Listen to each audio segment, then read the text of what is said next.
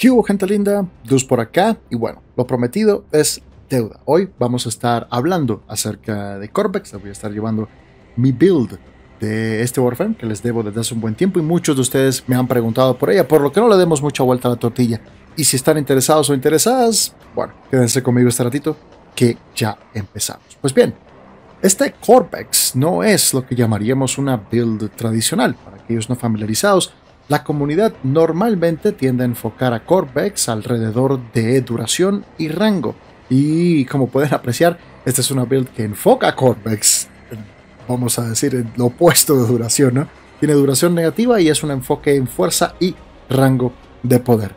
La razón por la cual eh, me he enfocado en este sentido es porque, bueno, me gusta muchísimo algo muy particular que pueda hacer este Corvex, que ya lo veremos en un momentito. Además de eso, como pueden apreciar, este Corvex tiene un cambio muy importante con respecto al Corvex que normalmente vemos en las builds más tradicionales de este Warframe. Es el hecho de que le, he eliminado el pilar Chirinka, que es su primera habilidad, y la he cambiado por pillaje. Así que, Crost, ábreme una cuenta de pillaje porque hay varios Warframes cuyas builds les voy a llevar dentro de poco y que, bueno, la inmensa mayoría tienen viaje. No obstante, la razón por la cual le he cambiado el pilar Chirinka es porque, bueno, es una build, o esta es una build que no se enfoca en duración y se enfoca fundamentalmente en otros aspectos del Warframe.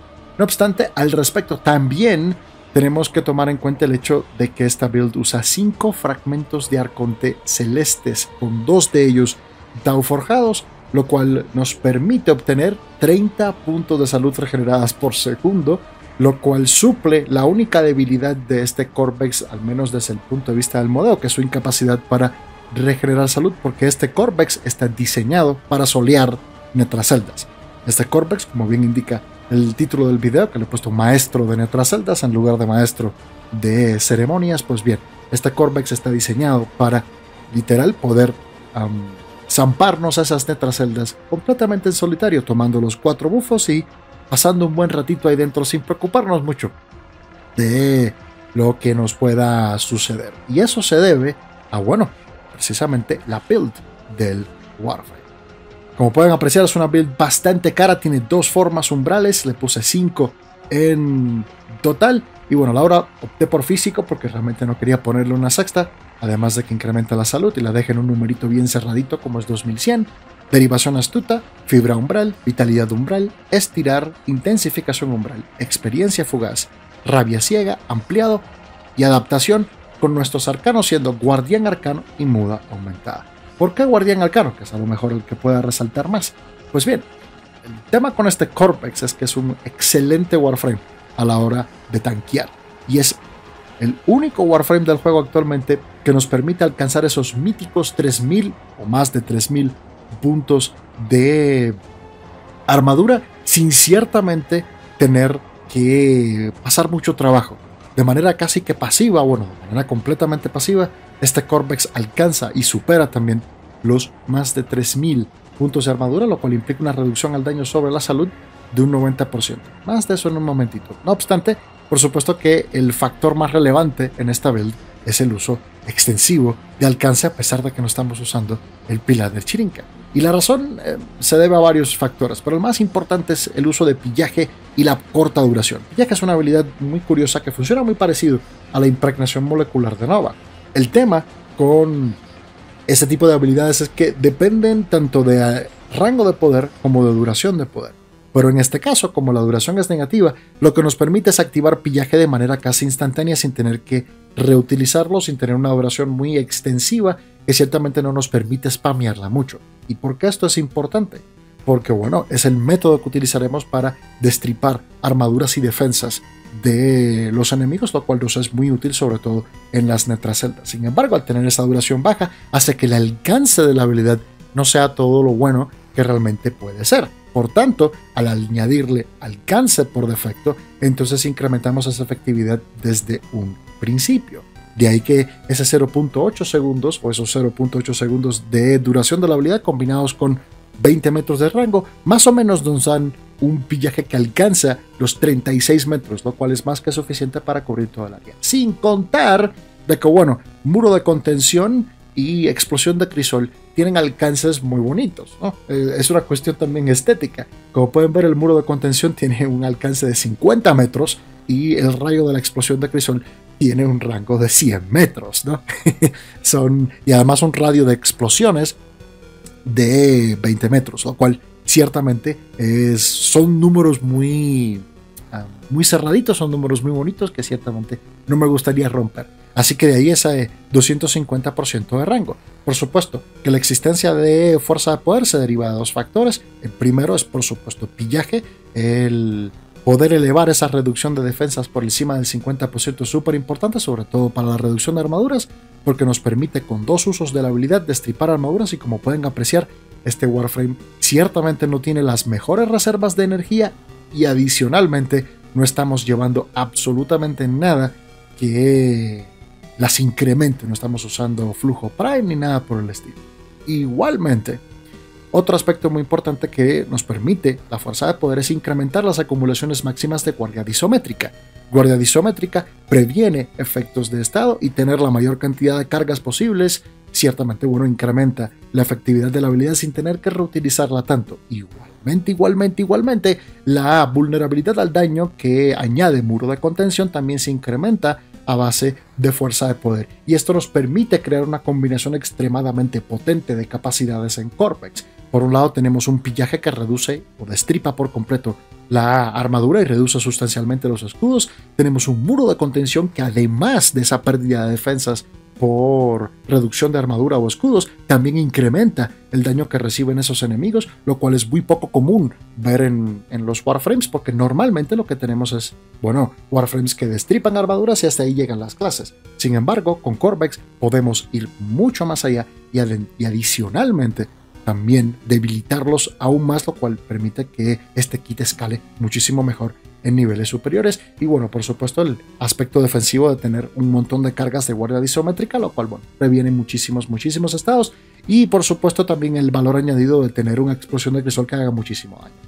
Pero lo fundamental ciertamente es esa combinación entre pillaje y muro de contención, lo cual nos permite hacer muchísimas, muchísimas cosas. Ahora bien, ahora bien, lo interesante de este Corvex y lo diferente que tiene con respecto a la manera normal de modiar a los Corvex de la comunidad es el cómo utiliza la armadura y la reducción al daño sobre la armadura. Este Corvex, desde un principio, lo diseñé para no morir, porque realmente cuenta con una cantidad asquerosa de lo que la comunidad conoce como salud efectiva o EHP, Effective Health Points en inglés. Para aquellos que no saben, la salud efectiva no es otra cosa que una manera de unir la armadura y la salud en un solo número, ¿no? Porque como la armadura afecta a la salud, reduce el daño sobre la salud, en realidad lo que sucede con todos los Warframes es que cada punto de salud no equivale a un punto de daño, sino que equivale a mucho más debido a la reducción de daño de la armadura. Y ese mucho más se puede reducir en un número, se puede resumir en un número, y ese número es lo que denominamos como salud efectiva. Este Corvex tiene una armadura real de 3.459 puntos cuando tomamos en cuenta todos los aspectos dentro de esta build. Adicionalmente, la reducción al daño sobre la salud es de un 92.02% y el multiplicador de salud efectiva que se deriva de esa combinación de armadura es de 12.53. Si multiplicamos ese 12.53 con la salud de Corvex, que es de 2100, nos da 26.313, que es literalmente la salud efectiva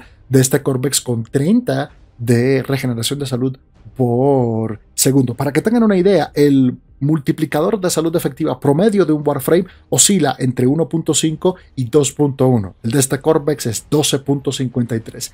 Literalmente es uno de los Warframes con mayor multiplicador de salud efectiva que tiene el juego. Es una auténtica bestia y realmente me permite tanquear de todo, sobre todo en celdas.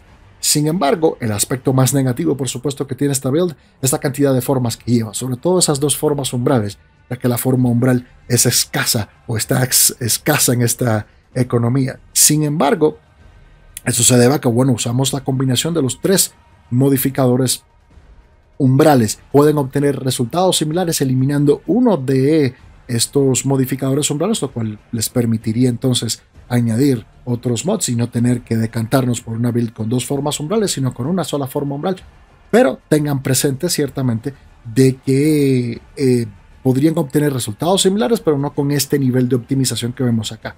No tendrían un multiplicador de salud efectiva tan grande, la reducción al daño no fuera tan grande y por supuesto los números no fueran tan buenos, ¿no? Pero pueden obtener resultados similares si es que se decantan por builds que utilicen menos recursos.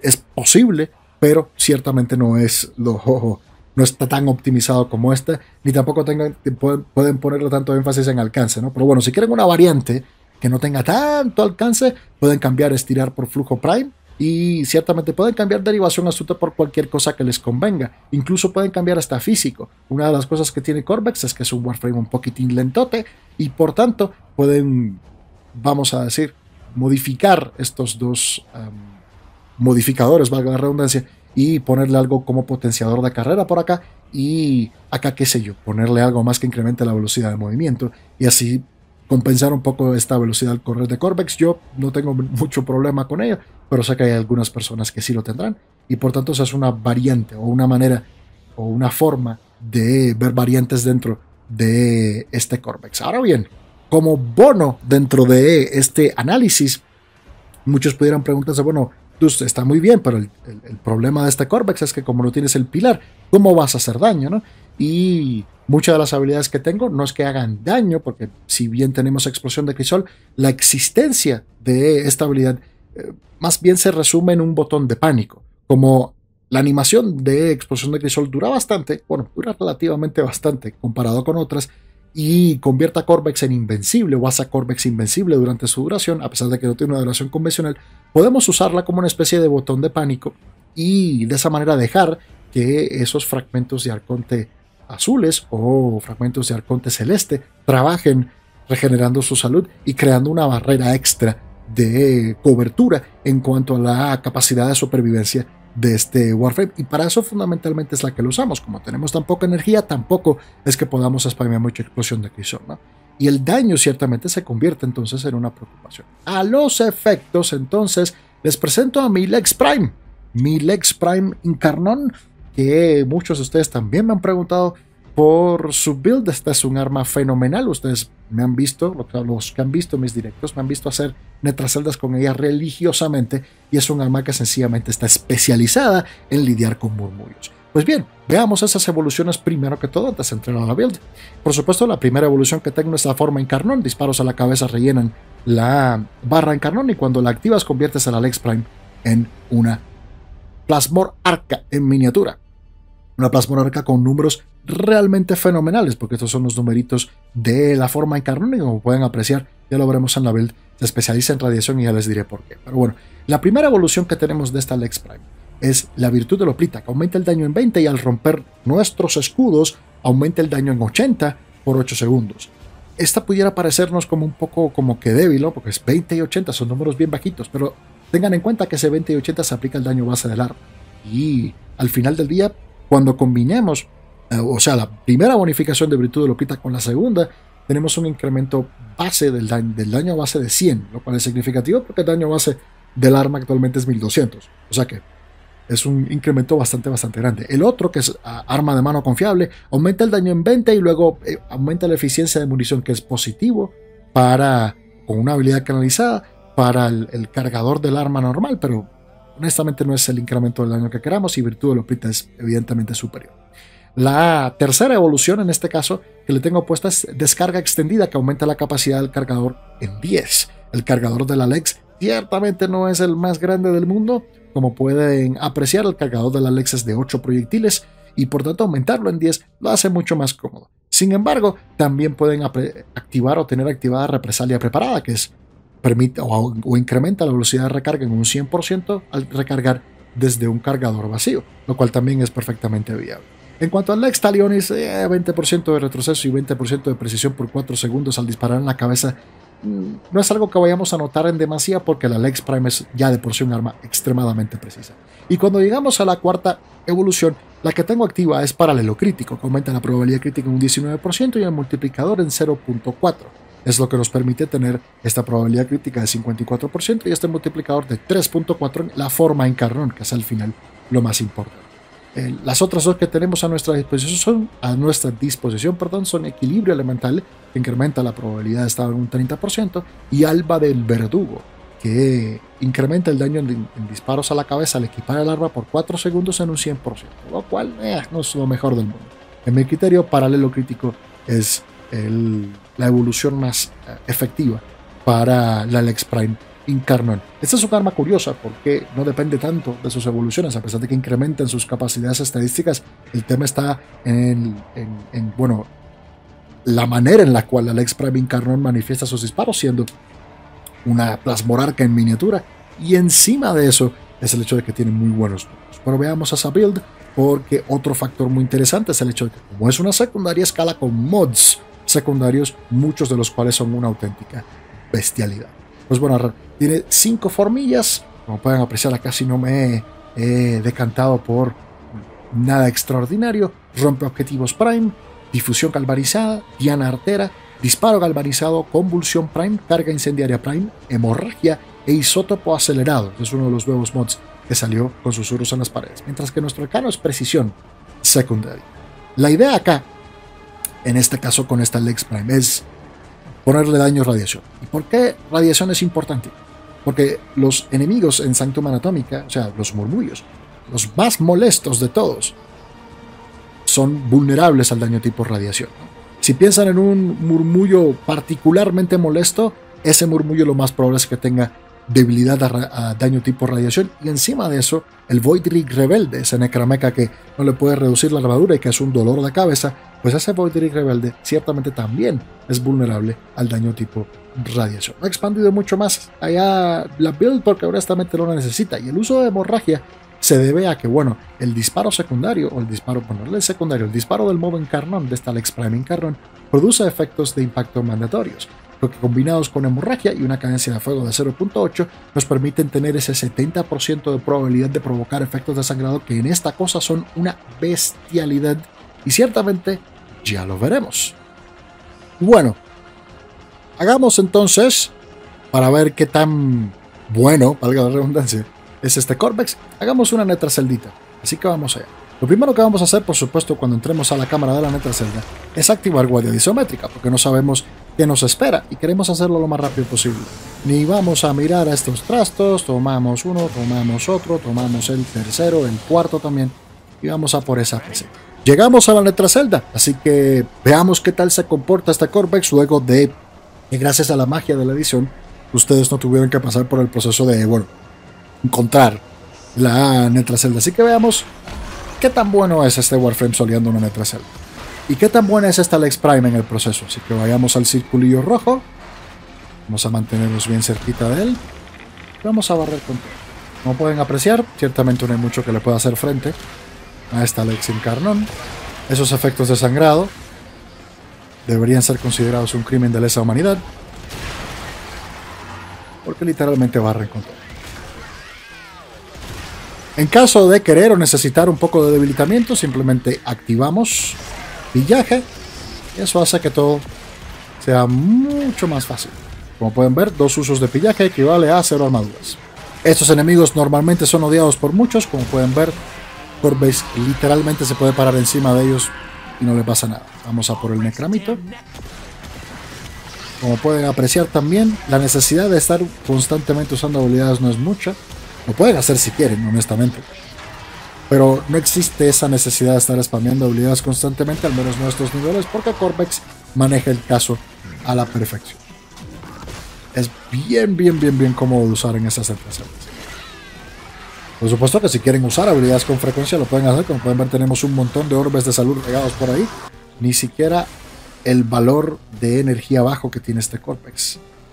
Tampoco es que represente un freno significativo. Y bueno, de esta manera, ábrete sésamo, se ha abierto la Netra Zelda. Como pueden apreciar, Corvex es un Warframe perfectamente viable en este sentido, más que viable, súper, súper, súper cómodo. Así que espero que les haya gustado la build, espero que les haya interesado. Reitero, la optimización o el nivel de optimización que tiene este Corvex en particular es bastante más del que necesitan, al menos hasta este nivel de Netraceldas con el nuevo tipo de misión o el nuevo tipo de Netracelda que saldrá muy pronto. no sé si realmente Corvex va a necesitar este nivel de tanqueo tan brutal para ese tipo de misiones, pero ciertamente pueden lograr resultados similares, aunque no tan optimizados como esta build, como les sugerí anteriormente, con menos recursos o con menos inversión de recursos, pero es perfectamente posible llevar a este Corvex a ser un Warframe realmente fantástico. Así que nada, muchísimas gracias por haberme acompañado. Si les gustó el video, por favor, no olviden darle me gusta, tampoco olviden suscribirse si aún no lo han hecho y chequen las opciones para miembros y patrones que ayuden a mantener vivo al canal. Donde quiera que estén, que pasen un excelente día, tarde o noche y se me cuidan, ¿eh? Porque nos estaremos viendo a la próxima. Chao, chao.